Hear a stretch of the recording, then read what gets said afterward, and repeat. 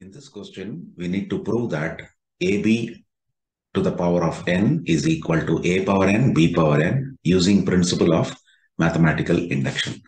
First of all, let us consider this uh, statement, whatever is given, or the formula, whatever is given as P of n. P of n is AB to the power of n equal to a power n, b power n. Now, if n is equal to 1, then our left-hand side will become AB to the power of 1, which is nothing but AB. And then right-hand side will become A power 1 into B power 1. That is also AB. So we can say, hence, P of 1 is true.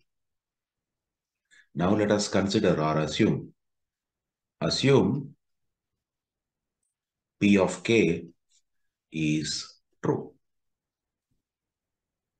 Then we have P of k equal to, or P of k will be AB to the power of k is equal to A power k, B power k. Now to prove that P of k plus 1 is true. So let us first consider the left-hand side. Our LHS will become AB to the power of k plus 1. That can be rewritten as AB to the power of k into AB to the power of 1. So now AB power k, we know already it is A power k into B power k that we will have to multiply it with a, b. That will become now this, I can rewrite it as a power 1, b power 1. So here it is nothing but a to the power of k plus 1 and b to the power of k plus 1. Hence, we can say p of k plus 1 is true. That implies that in general, p of n is also true. that is the proof. In this question, we need to prove that 5 to the power of n minus 5 is a multiple of 4 for all n belonging to set of natural numbers by principle of mathematical induction. So first, what we will do, we will consider the given statement as P of n. P of n, B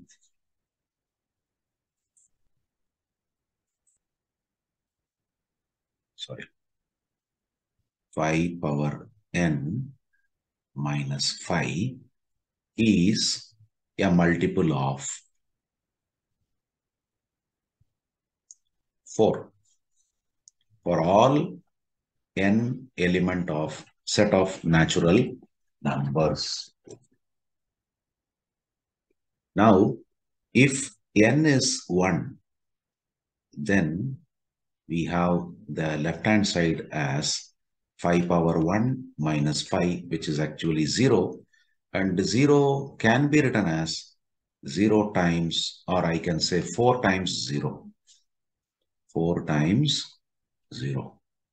Uh, therefore, we can say, which is a multiple of 0, which is a multiple of 4, which is a multiple of 4 so we can say P of 1 is true. Now, assume P of k is true. Then we can write the statement as P of k b 5 to the power of k minus 5 is a multiple of 4. Means we can rewrite that as 5 power k minus 5 can be written as 4 times r, where r is some element of integer. Now, to prove p of k plus 1 is true. So we will consider the left-hand side, which will be 5 to the power of k plus 1 minus 5, which can be rewritten as 5 power k times 5 minus 5. And from here we can say uh, 5 power k is nothing but 4r plus 5. So now we will replace 5 power k as 4r plus 5 times 5 minus 5, which can be written as 20 times r plus 25 minus 5, which is 20 times r plus 20. So now that can be rewritten as 20 times r plus 1 or 20 can be written as 4 times 5 times r plus 1. Therefore, which is a multiple of, which is a multiple of 4. Therefore, P of k plus 1 is true. Which means in general we can say P of n is by mathematical induction. In this question, we need to prove that 2 times 7 power n plus 3 times 5 power n minus 5 is divisible by 24 for all n element of natural numbers using principle of mathematical induction. So let us first write down, uh, let P of n be the statement 2 times 7 power n plus 3 times 5 power n minus 5 is divisible by 24 for all n element of natural numbers. Now let n equal to 1. Then our left hand side will become 2 times 7 power 1 plus 3 times 5 power 1 minus 5. That will give you 2 into 7, 14, 3 into 5, 15, minus 5, we get uh, 24. And uh, 24, it is divisible by 24. It is divisible by 24. Because this 24 can be written as 24 times 1. Now, let n equal to 2. Then, left-hand side will become 2 times 7 square plus 3 times 5 square minus 5. 7 square is 49. So 2 times 49 plus 3 times 25 minus 5. This will give you 98 plus 75 minus 5, which is 98 plus 70 and we get 8, 9, 7, 68. So, oh, is it divisible? 168, 24. I think uh, 2, 3, 4, 5, 6. I think it is 7 times 7 fours are 28, 2, 7 twos are 14. So it is divisible. So we can rewrite this as 24 times 7. So we can now assume P of k is true. So then we can write this P of k as 2 times 7 power k plus 3 times 5 power k minus 5. If it is divisible by 24, then it should be equal to 24 times r, where r is an element of natural numbers in general. Now to prove P of k plus 1 is true. To prove P of k plus 1 is true. So if we consider left hand side, it will become now 2 times 7 power k plus 1 plus 3 times 5 power k plus 1 minus 5. Now, in order to uh, substitute this, uh, first of all, let us rewrite this. This will be 2 times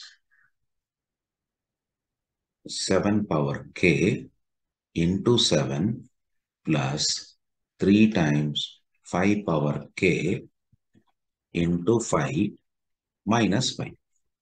I mean, you are splitting this k power 1, k to the power of k plus 1 as k and then 1, like that. Now let us add and subtract some terms. What will be the terms? Into 7 into 5 power k uh, plus we will also add, sorry, not plus, plus minus, minus 7 into 5.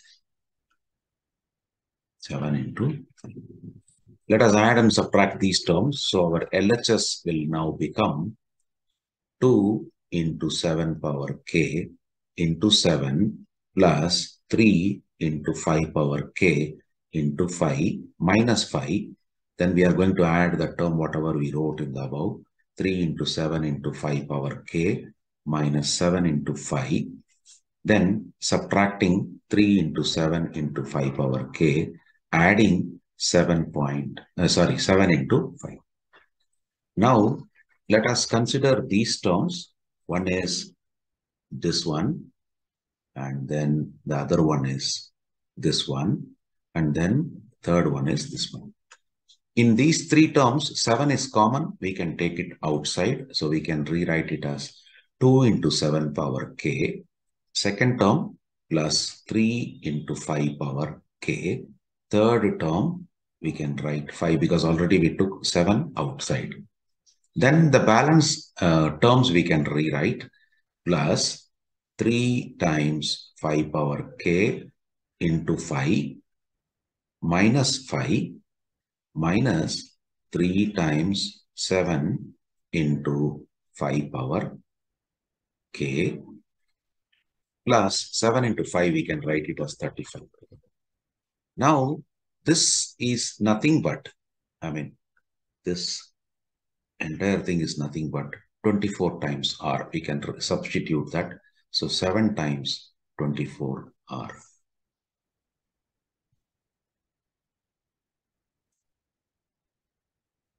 Now, if we look into this, we may notice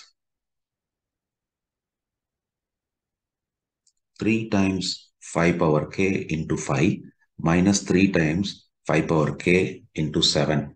So if we can subtract, if we subtract or we can take common outside plus 3 times 5 power k is common. First term will have 5 minus 7 and then this minus 5 and this plus 35, if we add those two, we get plus 30.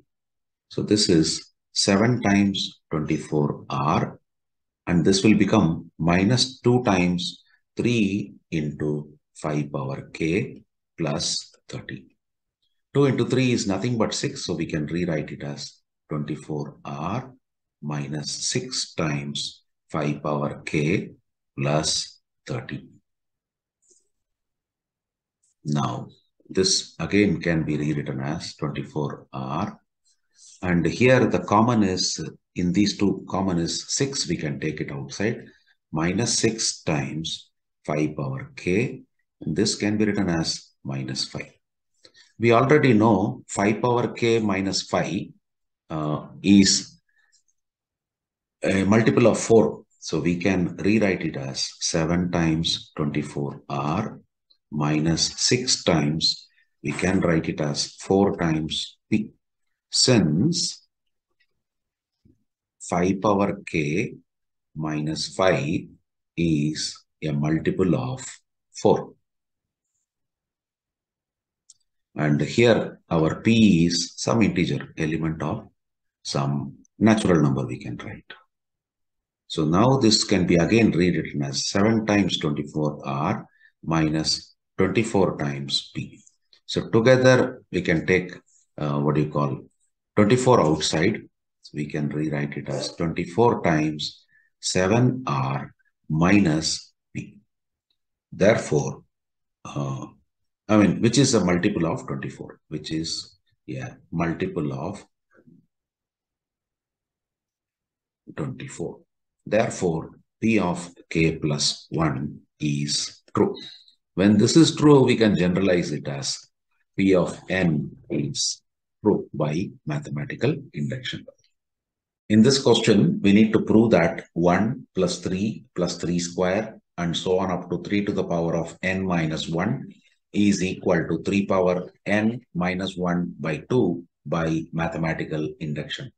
We may notice actually this is a sum of uh, first n terms of a geometric progression where you may notice that the common ratio is 3, first term is 1. But we need to prove this using mathematical induction. So let us consider this uh, uh, formula as P of n. We are going to consider that. Now, if uh, n is equal to 1, then the left-hand side will be having only 1 and then the right hand side will become now 3 power 1 minus 1 by 2 which is 2 by 2 and that is also 1 therefore we can say p of 1 is true. Now straight away we'll assume let p of k be true.